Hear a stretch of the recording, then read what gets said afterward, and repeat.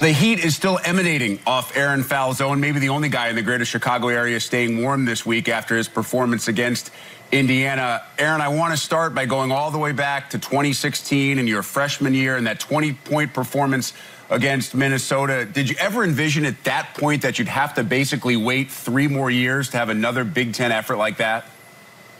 I mean, probably not. I mean, thinking at that point in my career, I was playing pretty well as a freshman. I thought I was only going to go off from there, but – unfortunately, I got hurt a couple of times, though. So we are we're here today.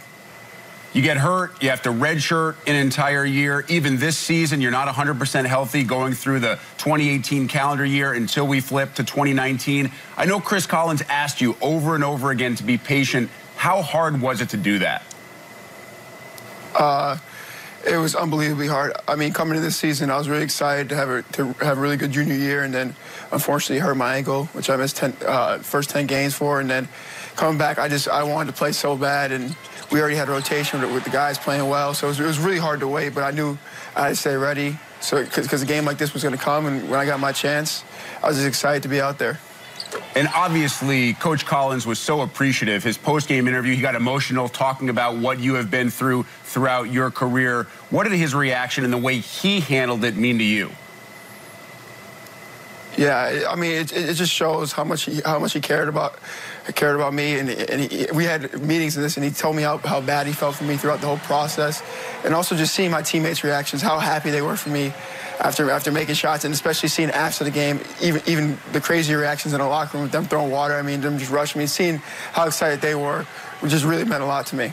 Uh, what's this journey been like when you join the program? It's an up and coming program. Then you get to that pinnacle, make the school's first ever NCAA tournament, and then a really surprising, disappointing year a year ago with basically that same core, and now back on the build up. What's it been like for you as part of the program over the last four years? I mean, it's a really exciting time for our program, especially, I mean, my freshman year, we won 20 games. We were, we were on up and coming, and then the next season going into it, we kind of all had that, that special feeling that was going to be a big year. And it was really tough for me that I had to sit out that year that we made the tournament, and then coming back again, thinking we're going to have an even better year, and the kind of disappointment. We were, we were kind of at a really low point, but coming the season, I just really wanted to help our team get back to the point where we were winning again. And it took a little bit longer for me with the injury, but I, I'm glad to be doing it now. Aaron, with everything that you've been through, you can have the support of your teammates, you can have the support of your coaches, you need the support of your family. I know you have siblings that either mm -hmm. played or play yeah. varsity sports at major schools, yeah. and it sounds like you have a really close relationship, both father-son and basketball-wise, with your dad. How important has that family support been for you? I mean, it's it's meant everything for me. I mean, they know more than anybody like how, how down I was at the beginning of this year when I got hurt, and I, I called my dad and my mom every week, and we, we, would just talk about things, and they would, they would tell me to keep my head up and just keep playing, and my time was coming. Even my brother, he plays professionally in England.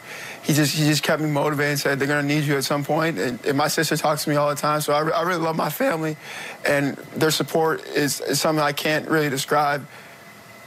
Do you think at this point, after your performance this year, that people will stop mispronouncing your name, even though there's no E at the end, that it's Falzone and not yeah. Falzon?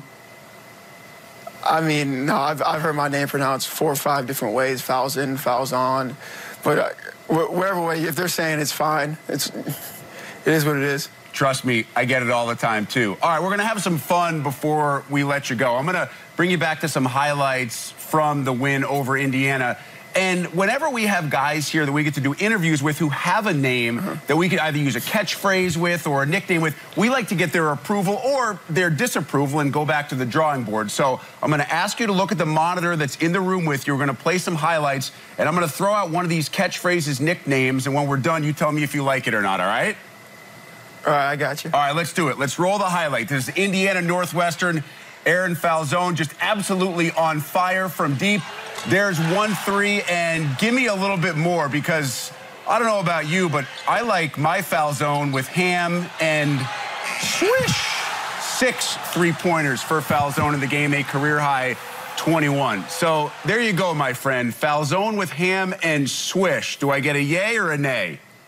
That's definitely a new one. I mean, I get the classic calzone all the time. So, I mean, just for creativity, I, will I'll give you a yay for that one. Beautiful. You make sure that you and your teammates are watching the next time the Northwestern is playing because post-game reaction highlights will have Aaron Falzon with Ham and Swish. Good stuff, my man. Appreciate the time. Thanks for hanging out and having some fun with us.